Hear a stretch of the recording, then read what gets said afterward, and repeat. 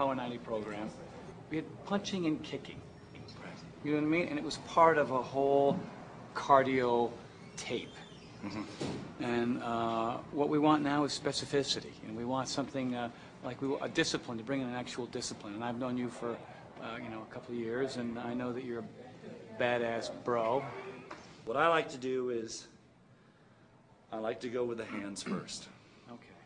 So when I get people in stances, I'll Tony, say Tony. one, two, three, four.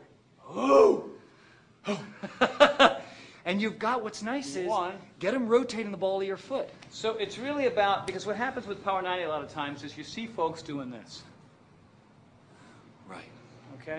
So we're trying now to turn a it punch into a full body phenomenon. Correct, Amino? Absolutely. Okay, so show me those four again. So So- you have, so you have so a nice there's a jab. athletic, so already Yeah, it's just hanging and- out down here, you got some, Yeah. something going on. And make them think that your feet are a little forward on a 45, like you're about to start running forward.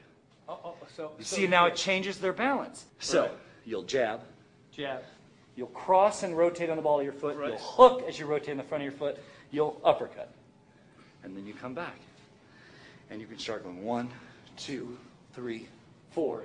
One, two, three. That's it. And Four. tell them when they hit. One, two, three.